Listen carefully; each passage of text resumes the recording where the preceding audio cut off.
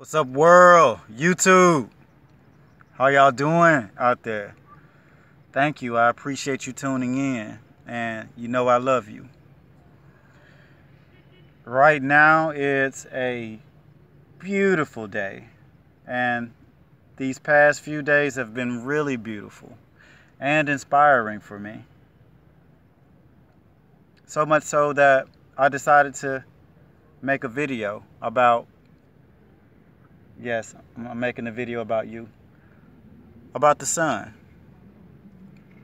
And another sun gazing video, but I'm gonna focus on two things in this video. I'm gonna talk about what happens to the blood when we see the sun, when we look at the sun, or if we see just daylight. And I'm gonna talk about photosynthesis like real human photosynthesis. Can we actually photosynthesize just like plants do? Can we absorb the sun and directly make energy just like plants do? Photosynthesis. Yes, we can. We have those abilities. And uh, we, we make energy in three known ways. Our cells can make, uh, it's actually a backup energy system, but our cells can make energy through fermentation, which does not require oxygen and we can make energy through respiration, which uh, our mitochondria uh, metabolize oxygen and they can make energy, and it requires oxygen. And we can make energy through photosynthesis directly from the sun. And that's what I'm going to talk about. And I guess I'm going to tie these two things together photosynthesis and the blood because they operate together. But when we look at the sun or just see normal sunlight or normal daylight, it irradiates our blood. Looking directly irradiates it even more. But it irradiates our blood. And how does the light irradiate our blood? How does the blood, how does the light get into our blood? It gets into our blood by our red blood cells because our red blood cells have an iron protein on them called hemoglobin. And hemoglobin is most well known for carrying oxygen. But hemoglobin also carries light. And I'll come back to that in a moment. But for now, I want you to think about okay, hemoglobin. What is hemoglobin? What is hemoglobin very similar to? In fact, what is hemoglobin almost identical to? Hemoglobin is structurally almost identical to chlorophyll.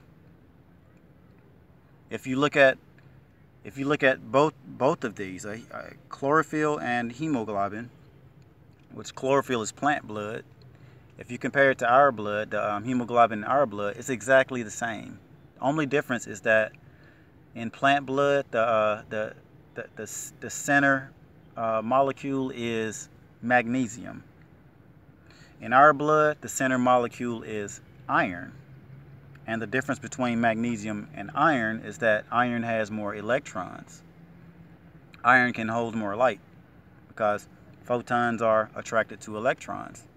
So iron, iron can carry more energy.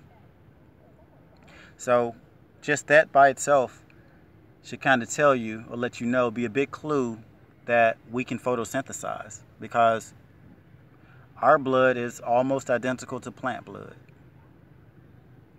And our hemoglobin, by writing on our red blood cells, can carry light and oxygen to various tissues throughout our bodies.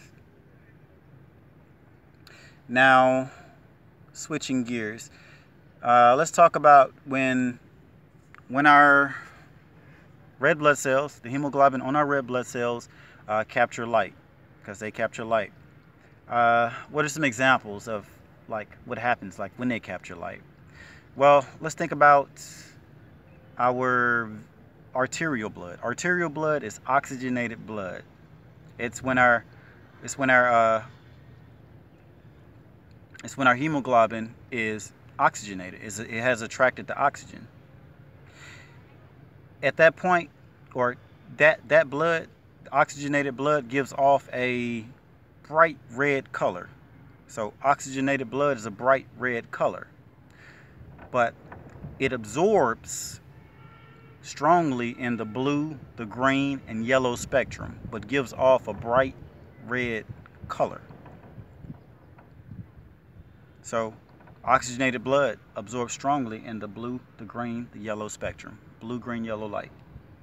Now, deoxygenated blood, our arterial blood, which doesn't have much, much oxygen, it absorbs strongly in the green range. And it releases slash gives off blue and red frequency or, or color. Which makes it a it looks darker or the it makes the color different. So those are like the reasons for our differences in the color uh, of our blood, whether it's oxygenated or deoxygenated, because the oxygen, whether it carries oxygen or not, determines what type of light that it can absorb. Now, when the when our red blood cells uh, travel and, and take take our hemoglobin to our various tissues in our bodies to deliver them along with the oxygen, deliver the oxygen and deliver the light to the various tissues.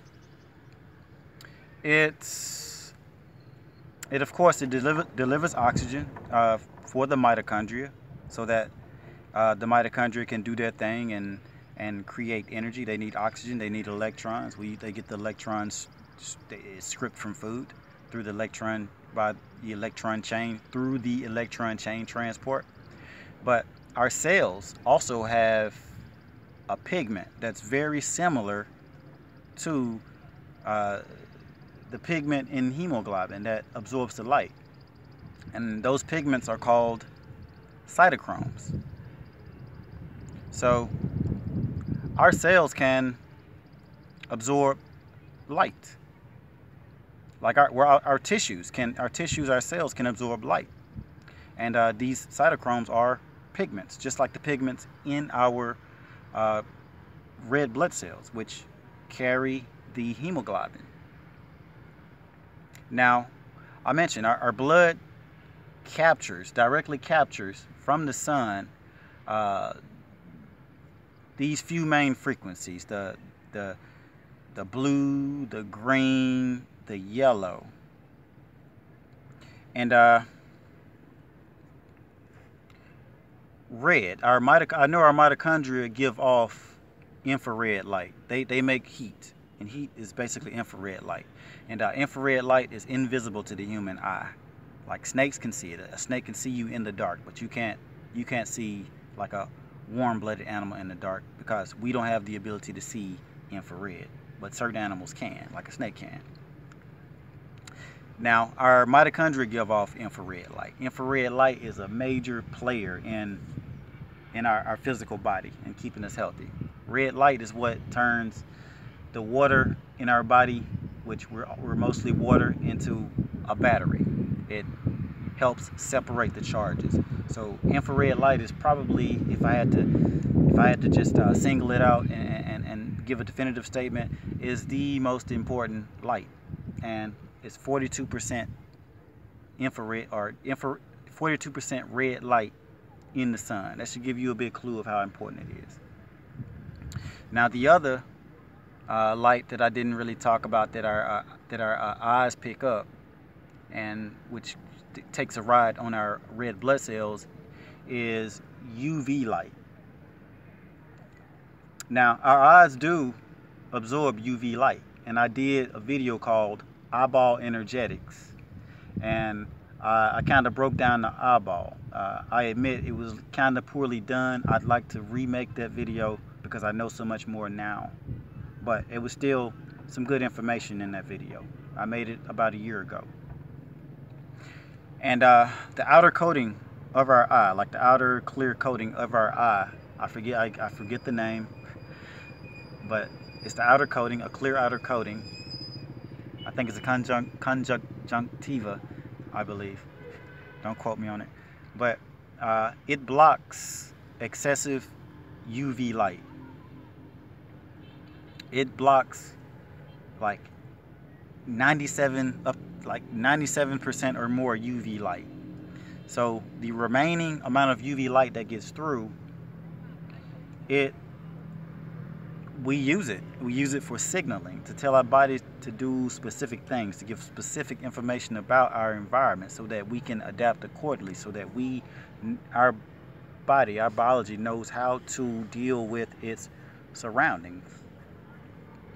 Because, like a, a big sign of fitness, one of the, the, the biggest barometers of physical fitness is how you can handle your environment.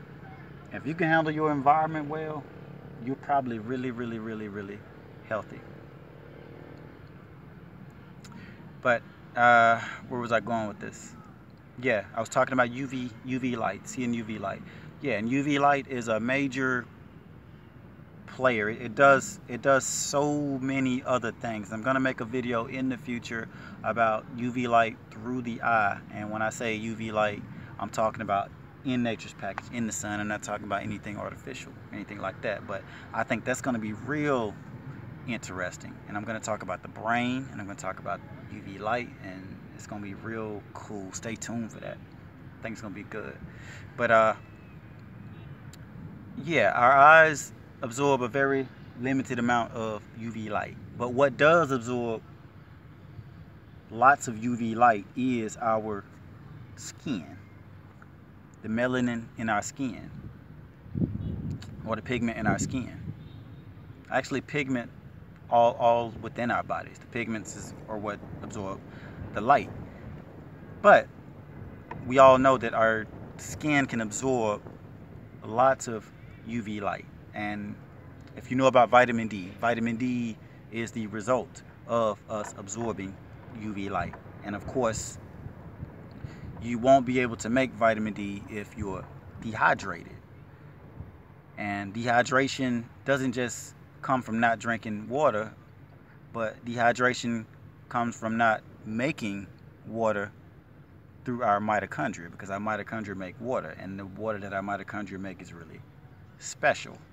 It's nothing like the water that we drink, and and it's the water within us, made by our mitochondria, is is very different, and that water that water uh, can limit or allow us to absorb a lot more sun and raise our vitamin D. Vitamin D is basically a, a barometer of how much energy we are absorbing from the sun. That's really what it tells you. And uh, of course, vitamin D is your immune system, your immune system, bones, but it's so much more than that. That's what it's most known for. But our skin is a major maker, absorber, creator of vitamin D, and it's made by absorbing U the UV spectrum of light. So just in thinking about that, maybe maybe the eyes aren't best suited to receive huge amounts of UV. Maybe they are. I'm gonna make a video in the future about that, kind of discussing. I'm gonna put put a platform out for us to talk about it and understand it better, so we can do it safely and know, just basically understand this. Just create, generate some some discussion about it. And again, it's gonna be real. It's gonna be it's gonna be a lot of fun. It's gonna be real interesting when I when I make it because I have some uh, ideas that are really they surprised me when I when they came to me. But it's gonna be about UV UV light, and it's gonna be about the brain, and yeah, stay tuned. But yeah, that's. I'll stop here. I'll stop here with the video, and uh, you know, I just want to talk about some things that happen to us when we when we sun gaze, when we see uh, sunlight, and how we feed ourselves. You know, the fact that we photosynthesize and we don't even realize it. And I think by us understanding it, we can connect with nature better and be better versions of ourselves because a lot of our disconnect is just fear and propaganda of just not knowing what's what from this long divorce that we've had from from from this from from nature from what's just just it's right before our faces and you know it's, it's real and we need it and we're taught to that we don't need it and we should run from it. But i'm trying to i'm trying to marry nature and develop an incredible relationship with it and hopefully through that develop an incredible relationship with everyone everything through being a better version of myself and connecting with you all. So I'll end the video here. And again, I appreciate you for watching. And I love you. You love yourself. And let's stay connected. I'm gone.